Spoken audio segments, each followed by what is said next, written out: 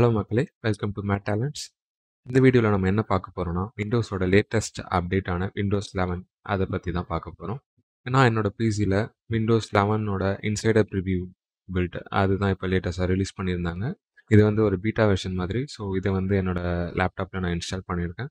இதில் என்னென்னலாம் ஃபீச்சர்ஸ் அவங்க கொடுத்துருக்காங்க அப்படின்றது தான் இந்த வீடியோவில் நான் சொல்ல போகிறேன் அவங்க லான்ச் இவெண்ட்டில் நமக்கு பயங்கர ஹைப் கொடுத்துருந்தாங்க. இந்த அப்டேட் தரோம் அந்த அப்டேட் தரோன்னு இது இதெல்லாம் பண்ணியிருக்கேன் விண்டோஸ் டென்லேருந்து விண்டோஸ் லெவனுக்கு ஸோ என்னென்ன அப்டேட் கொடுத்துருக்காங்க அப்படின்றத இந்த வீடியோவில் நம்ம ஃபுல்லாக பார்க்கலாம். ஃபர்ஸ்ட் விஷயம் இதில் நீங்கள் நோட் பண்ணுறது வந்து இந்த புதுமையான வால்பேப்பர் ஓகே வால்பேப்பர்ன்றது பெரிய அப்டேட் இல்லை தான் இருந்தாலும் நான் சொல்லிடுறேன். ஒரு மென்ஷன் அப்படியே கீழே வந்தீங்கன்னா டாஸ்க் பார் இந்த டாஸ்க் பாரில் தான் நிறைய சேஞ்சஸ் பண்ணியிருக்காங்க இந்த இதை பொறுத்த வரைக்கும் என்னென்ன சேஞ்சஸ் அப்படின்னு பார்த்தீங்கன்னா ஃபர்ஸ்ட் எடுத்தோடனையும் இந்த விண்டோஸ் ஸ்டார்ட் பட்டன் இருக்குது பார்த்தீங்களா இதை வந்து சென்ட்ரல் அலைன்ட் பண்ணியிருக்காங்க யூஸ்வலாக நம்ம இது வரைக்கும் விண்டோஸ் டென் வரைக்கும் எல்லாமே லெஃப்ட் சைட் பார்த்துட்டு இருந்தோம். இப்போது இதில் வந்து இந்த விண்டோஸ் பட்டன் வந்து நடுவில் வச்சுருக்காங்க. நெக்ஸ்ட் என்னென்னு பார்த்தீங்கன்னா விண்டோஸ் பட்டன் டச் பண்ணிங்கன்னா இதில் வந்து ரெக்கமெண்டட் ஐட்டம்ஸ் அப்படின்னு சொல்லிட்டு நம்ம ரீசெண்டாக என்னென்னலாம் ஓப்பன் பண்ணியிருந்தோமோ அதெல்லாம் இதில் காட்டியிருக்கோம்.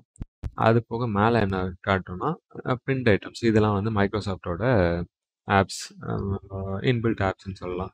இதெல்லாம் வந்து இதில் பின் பண்ணி வச்சுருப்பாங்க. இதெல்லாம் நம்ம வந்து கஸ்டமைஸ் பண்ணிக்கலாம். நமக்கு என்ன வேணும் என்ன வேணாம்னு சொல்லிட்டு. இன்னொன்று இதை நீங்கள் ரைட் கிளிக் பண்ணிட்டு ரிஃப்ரெஷ் பண்ணிக்கலாம். எது நீங்கள் ரீசெண்டாக அப்டேட் ஆகலைன்னு நினைக்கிறீங்களோ அதெல்லாம் ரிஃப்ரெஷ் பண்ணி எடுத்துக்கலாம். அதுக்கப்புறம் இங்கே ஆல் ஆப்ஸ் இருக்கும். ஆல் ஆப்ஸ் போனீங்கன்னா இது ரொம்பவே அப்படியே க்ளீனாக இருக்குது ரொம்ப எதுவும் ரொம்ப விளம்பரப்படுத்தி இல்லை பெரிய பெரிய ஐக்கான்லாம் கொடுத்து அதை மாதிரிலாம் பண்ணாமல் சிம்பிளாக கொடுத்துருக்காங்க. ஸோ இது உண்மையிலேயே நல்லா இருக்குது அண்ட் இதில் மேஜராக நீங்கள் பார்க்குறது என்னன்னா இதோட ரவுண்டட் கார்னர்ஸ் விண்டோஸ் லெவனில் எல்லா அந்த ஃபைல் எக்ஸ்ப்ளோரராக இருக்கட்டும் இல்லை கேலண்டர் விஜெட்டாக இருக்கட்டும் எதுவாக இருந்தாலும் இந்த மாதிரி ரவுண்ட் கார்னர்ஸ் கொடுத்துருக்காங்க. இது மேக்ஓஎஸ் யூஸ் பண்ணியிருந்தால் அவங்களுக்கு தெரிஞ்சிருக்கும். அவங்க யூஸ்வலாக இது பார்த்துட்டு இருக்கதான் விண்டோஸ் யூஸருக்கு இது ரொம்பவே புதுசு. ஓகே இது நல்லா தான் இருக்குது அடுத்தது பார்த்தீங்கன்னா சர்ச் பார் எஸ் முன்னாடி வந்து விண்டோஸ் டென்னில் ஹலோ கோட்டோனா அப்படின்னு சொல்லிட்டு ஒரு வாய்ஸ் அசிஸ்டன்ட் வச்சுருந்தாங்க. அதை வந்து இதில் தூக்கிட்டாங்க. அதுக்கப்புறம் இதில் கொஞ்ச நேரம் இப்படி வச்சிங்கன்னா நம்ம ரீசெண்டாக ஓப்பன் பண்ண ஆப்ஸ் வந்து இதில் காட்டும். அது போக கிளிக் பண்ணிங்கன்னா உங்களுக்கு என்னென்ன வேணுமோ அதை சர்ச் பண்ணி நீங்கள் எடுத்துக்கலாம். நெக்ஸ்ட்டு வந்து விட்ஜெட்ஸ் சாரி இது வந்து டாஸ்க் வியூ இது வந்து நம்ம நம்பர் ஆஃப் டெஸ்க்டாப்ஸ் வந்து இங்கே கொடுத்துக்கலாம். டெஸ்க்டாப் ஒன் டூ த்ரீ அது மாதிரி போட்டுக்கலாம். இதில் இன்னும் கூடுதல் ஃபீச்சர்ஸ் விண்டோஸ் டென்லேருந்து லெவன் என்ன மேஜர் அப்டேட்னா இதில் வின் டெஸ்க்டாப் டூக்கு நீங்கள் தனியாக பேக்ரவுண்ட் யூஸ் பண்ணிக்கலாம். அதோட இது டோட்டலாக தனியாக யூஸ் வச்சுக்கலாம். அது மாதிரி ஒரு இது கொடுத்துருக்காங்க. நம்ம அந்த வால்பேப்பர் சேஞ்ச் பண்ணுறதெல்லாம் பற்றி பின்னாடி பார்க்கலாம். அதுக்கு அடுத்தபடியாக வந்து விட்ஜெட் ஐகான்ஸ் விட்ஜெட் கிளிக் பண்ணிங்கன்னா இந்த மாதிரி வரும். இதில் வந்து உங்களுக்கு வெதர் அப்புறம் லேட்டஸ்ட் நியூஸஸ் ஃபோட்டோஸ் என்ன அப்படின்னு சொல்லிட்டு இதெல்லாம் இருக்கும். இதெல்லாம் நீங்கள் வந்து கஸ்டமைஸ் பண்ணிக்கலாம். உங்களுக்கு என்ன வேணுமோ அது என்ன வேணாமோ அதெல்லாம் நீங்கள் வந்து யூஸ் பண்ணி எடுத்துக்கலாம்.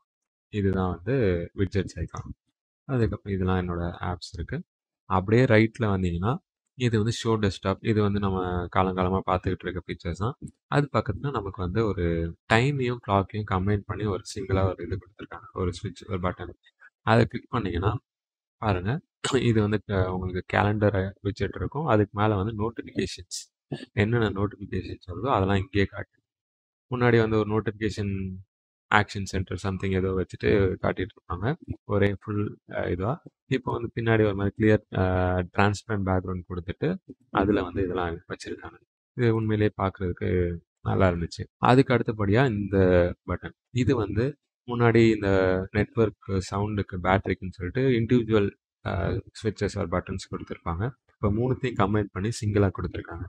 இதில் என்னடா புதுசாக இருக்குது அப்படின்னு பார்த்தீங்கன்னா இதை கிளிக் பண்ணிங்கன்னா உங்களுக்கு இந்த மாதிரி ஒரு இது வரும் உங்களுக்கு ஸ்க்ரீனில் இது பார்க்குறதுக்கு நமக்கு ஆண்ட்ராய்டு யூசர்ஸ் ஆர் மொபைல் யூசர்ஸ்க்கு நோட்டிஃபிகேஷன் பார் இருக்கும்ல அது மாதிரி தான் இருக்குது அதில் வந்து வைஃபை ப்ளூடூத் ஏர்பிளைன் மோட் என்னென்ன என்னமோ நோட்டிஃபிகேஷன் பார் நீங்கள் ஸ்வைப் பண்ணால் வரும்ல அதுதான் வந்து இதில் காட்டியிருக்காங்க. நீங்கள் என்ன நெட்ஒர்க் வேணுமோ இதில் இப்படி கிளிக் பண்ணிங்கன்னா அவைலபிள் நெட்ஒர்க்ஸ் இதில் வந்து காட்டும்.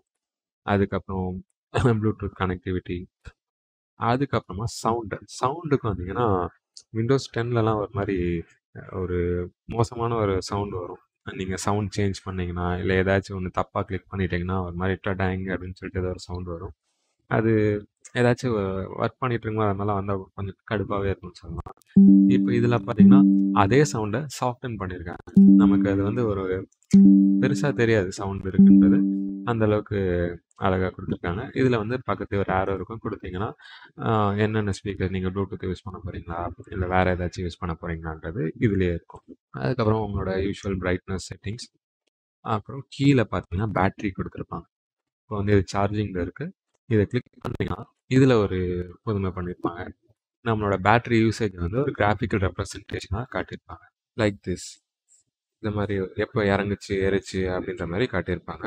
அந்த பட்டன் கிளிக் பண்ணிங்கன்னா கீழே காட்டியிருப்பாங்க உங்களுக்கு.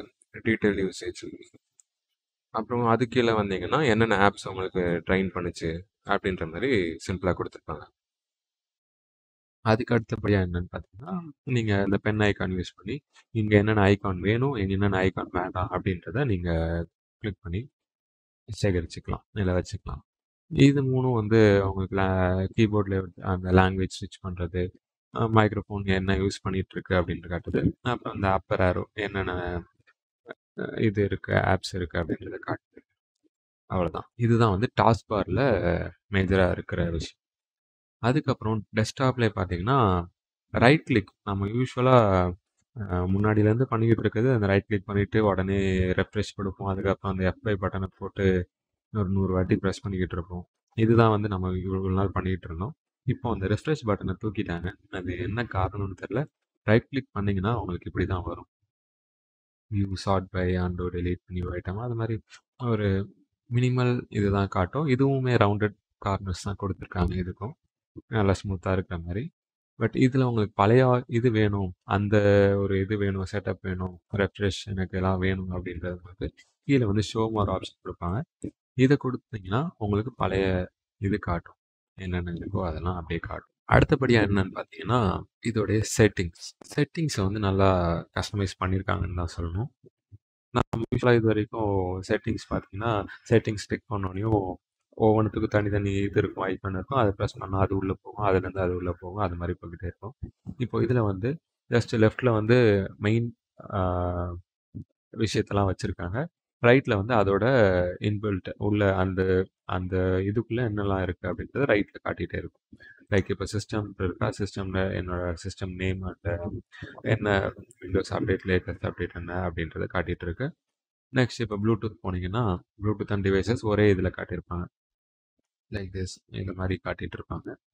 இதில் உங்களுக்கு பிரிண்டர்ஸு ஃபோன் கனெக்ட் பண்ணியிருந்தீங்கன்னா ஃபோனு இல்லைனா உங்களோட ஹெட்செட் இது எல்லாத்தையும் ஒரே இடத்துல இன்ஃபர்மேஷன் நீங்கள் பார்க்கலாம். நெட்ஒர்க் இந்த மாதிரி இந்த மாதிரி எல்லாமே எல்லாமே வந்து உங்களுக்கு இது இதுக்குள்ளேயே வச்சுருக்காரு. அதுக்கப்புறம் பார்த்தீங்கன்னா பர்சனலைசேஷன் பர்சனலைசேஷன் இது மாதிரி இந்த புது வால்பேப்பர்ஸ் கொடுத்துருக்காங்க.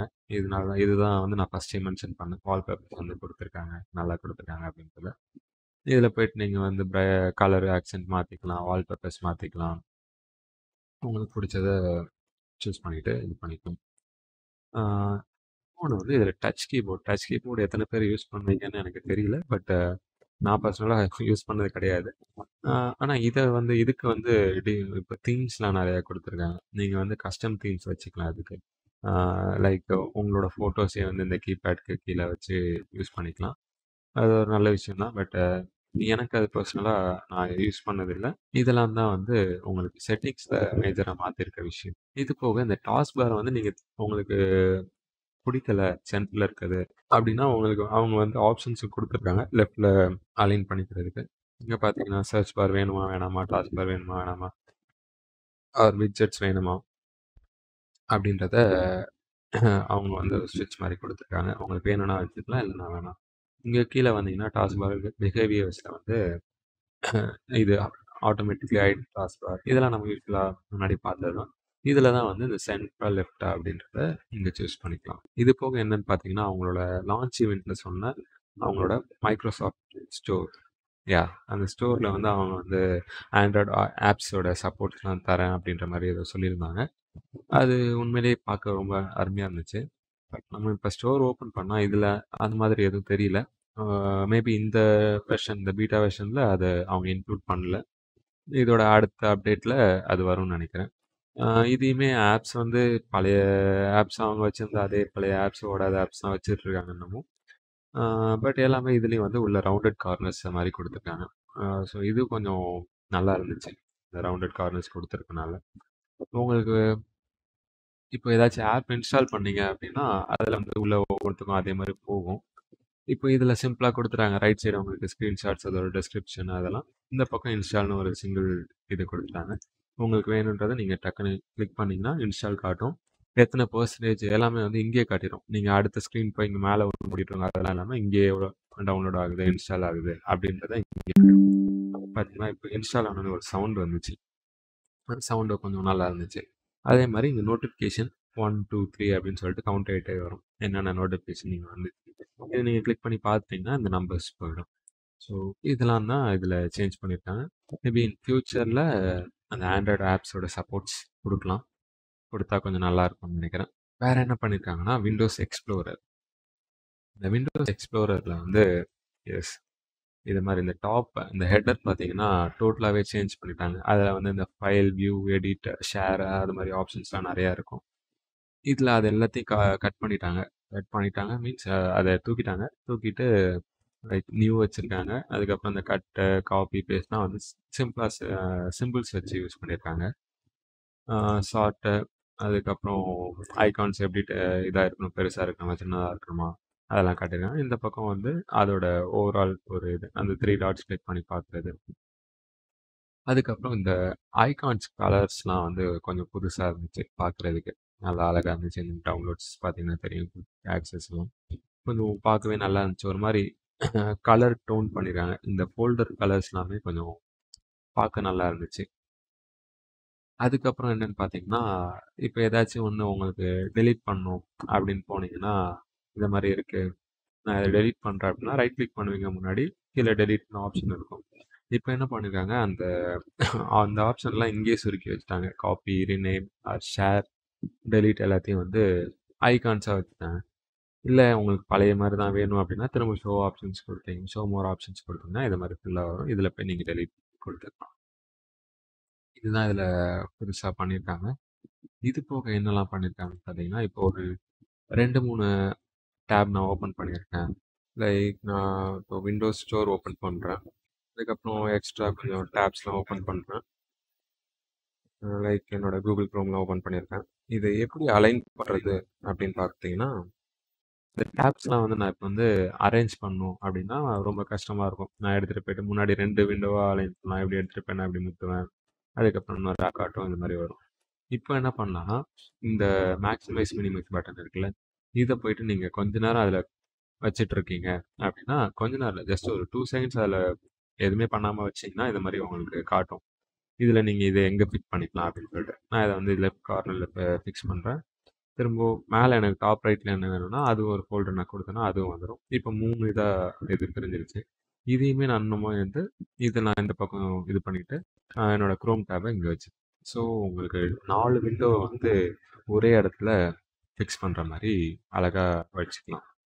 இது வந்து மல்டி டாஸ்கிங்க்கு ரொம்பவே ஹெல்ப்ஃபுல்லாக இருக்கும். முன்னாடி நான் பிடிச்சி ஒவ்வொன்றா வச்சு அளந்து அளந்து வச்சுக்கிட்டு இருந்திருப்பேன். இப்போ வந்து எனக்கு இது ரொம்ப யூஸ்ஃபுல்லாக இருக்குது ஒர்க் பண்ணுறதுக்கு ஸோ எல்லாத்தையும் க்ளோஸ் பண்ணிப்பேன் இது எல்லாம் தான் இப்போதைக்கு நான் பார்த்த இந்த விண்டோஸ் 11ஓட அப்டேட். இதில் இது சொல்கிறேன்னு சொல்லியிருந்தேன்ல, இந்த டெஸ்க்டாப் புதுசாக இது கொடுத்துக்கலாம் அப்படின்னு. இது ரைட் கிளிக் பண்ணிங்கன்னா சூஸ் பேக்ரவுண்ட் வரும். போயிட்டு இதுக்கு மட்டும் தனியாக நீங்கள் வந்து வால்பேப்பர் செட் பண்ணிக்கலாம். இப்போதைக்கு இது கொடுத்துக்கலாம் கொடுத்துட்டு இங்கே போய் பார்க்குறேன்னா, எனக்கு டெஸ்க்டாப் டூவில் ஒரு ஐ ஒரு வால்பேப்பர் இருக்கும். டெஸ்க்டாப் ஒன்று பார்த்தீங்கன்னா, அதுக்கு வேறு வால் வால்பேப்பர் இருக்கும். இது எதுக்குன்னா, உங்களுக்கு டிஃப்ரென்ஷியேட் காட்டுறதுக்காக, எந்த டெஸ்க்டாப்பில் இருக்கீங்க, என்ன ஒர்க் பண்ணிகிட்ருக்கீங்க இருக்கீங்க அப்படின்றத உங்களுக்கு ரியலிஸ்டிக்காக காட்டுறதுக்காக இது யூஸ் பண்ணிகிட்ருக்கேன் ஸோ இது இதுதான் நான் கடைசியாக சொல்லணுன்றோம் ஓகே. ஆல்மோஸ்ட் நான் எல்லாத்தையும் கவர் பண்ணிட்டேன். இந்த அப்டேட்டில் வந்த விஷயங்கள. இதுக்கு மேலே ஏதாச்சும் அப்டேட் வருது அப்படின்னா, அதை நான் அடுத்த வீடியோவில் கவர் பண்ண பார்க்குறேன். இது வரைக்கும் இந்த வீடியோ உங்களுக்கு பிடிச்சிருக்குன்னு நினைக்கிறேன் தேங்க்ஸ் ஃபார் வாட்சிங்.